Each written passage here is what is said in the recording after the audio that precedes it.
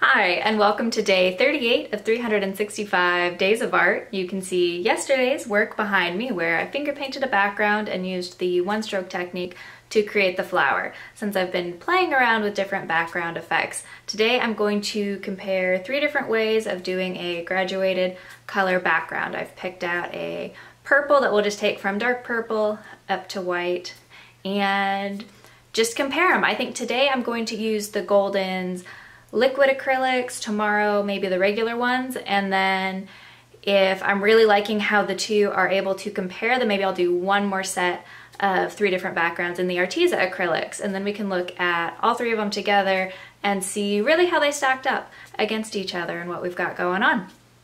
That being said, plan in place, let's paint. So I have liquid golden acrylics, titanium white, and dioxazine purple.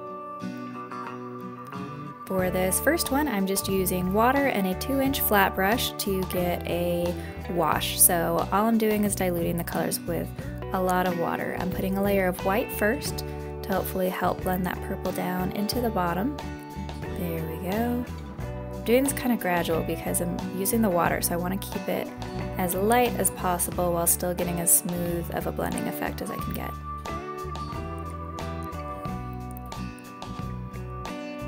And up there at the top where I want it to be darker, I'm just adding less water. Now this is a liquid acrylic, so even when I don't add any water to it, it's moving around pretty well on the page.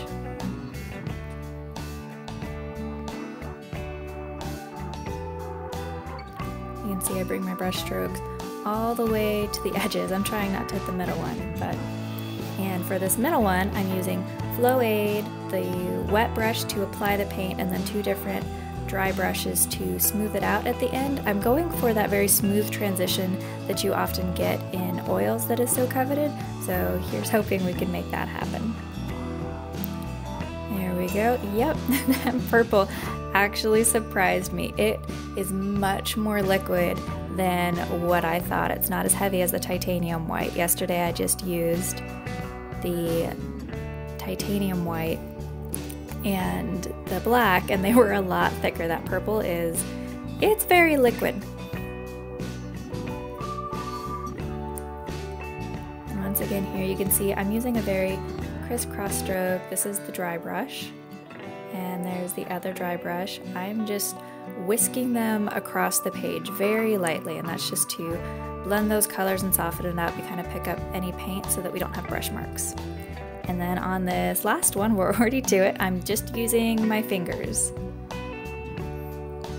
And I'm doing a lot darker at first and trying to put more on the page and layer it up because again for this, I really want to see the swirls. So I'm trying to over mix at the beginning here to get the different gradients that I want and then going back in and hopefully getting some of those fun designs and effects that I've been liking by doing that swirling pattern with my fingers.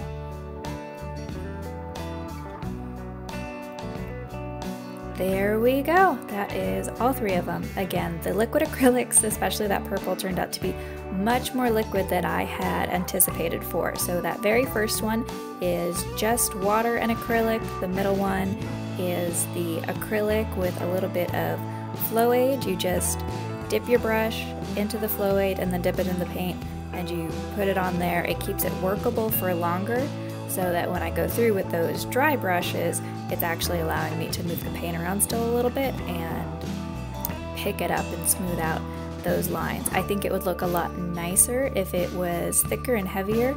So tomorrow when I go in with the regular acrylics, I'm thinking that's going to come out a lot softer and the blend is going to be really beautiful. Same thing with the one on the end. The one on the end definitely needs the stiffness of those heavier acrylics to retain the marks a little better and I think get the effect that I want. Obviously they worked really well with the water on the end though and gave that a very watercolor-like effect. So that is three different ways for a background for today. That wraps us up for today. I think I am going to stick with this for tomorrow using Golden's regular acrylics, their artist acrylics, which are a lot heavier than the liquid acrylics. That purple really surprised me when it came out that runny. So looking forward to that tomorrow. If there's anything you would like me to do, techniques you want me to explore, let me know down in the comments. I'll definitely give it a look. Otherwise, if you liked the video, please hit the like button and subscribe to my channel for more content. I'll see you guys tomorrow. Bye!